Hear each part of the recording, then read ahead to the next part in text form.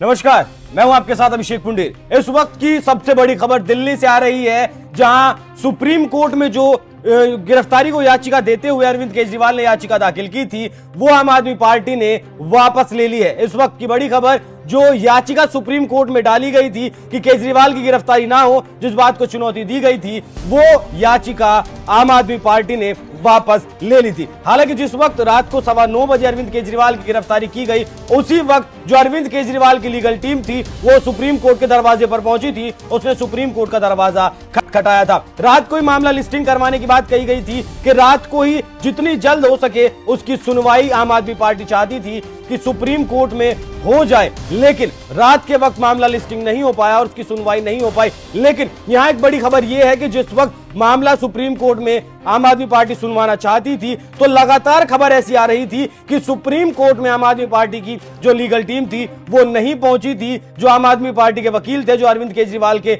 वकील थे, जिन्हें उनका पक्ष रखना था, वो सुप्रीम कोर्ट में नहीं पहुँचे थे। और इसी वजह से सुप्रीम कोर्ट में ये केस रात लिस्ट नहीं हो पाया था और ऐसा कहा गया था कि फिर सुबह जितनी जल्दी हो सकेगा, उतनी जल्दी इस मामले की सुनवाई की जाएगी। लेकिन अब बहुत बड़ी खबर निकलकर सामने आई है कि अरविंद केजरीवाल ने अपनी याचिका वापस ले ली है। मतलब अब उन जो उन्होंने सुप्रीम कोर्ट के सामने अर्जी लगाई थी कि उनकी गिरफ्तारी नहीं होनी चाहिए, अब वो याचिका उन्होंने वापस ले ली है। मतलब दाल में कुछ काला नहीं है, दाल पूरी ही काली है। आज ढाई बजे अरविंद केजरीवाल की पीएमएलए कोर्ट में पेशी होनी है। इससे पहले अगर आपको बताऊँ तो जो सबूत ईडी अरविंद केजरीवाल के घर से लेकर गई थी, उन सबूतों में ढेर सारे ऐसे जो है, सूत्रों के हवाले से ऐसी खबर है कि वो डेढ़ सौ पन्नों की एक रिपोर्ट मिली है, डेढ़ सौ कागजात मिले हैं, जिसमें कुछ ईडी अधिकारियों के नाम, पते और ठिकाने भी शामिल थे। तो इस वक्त की सबसे बड़ी खबर यही है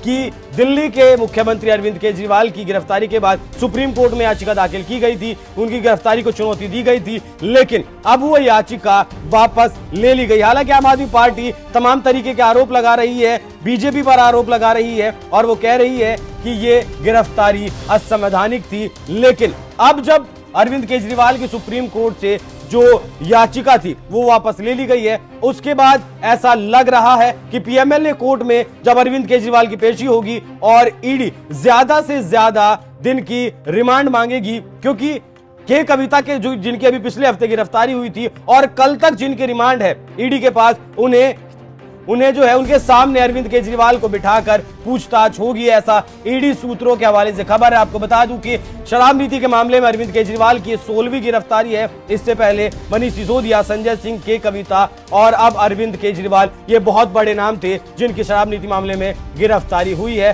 तो इस वक्त की सबसे बड़ी खबर यही है कि अरविंद केजरीवाल ने सुप्रीम कोर्ट से याचिका वापस ले ली है।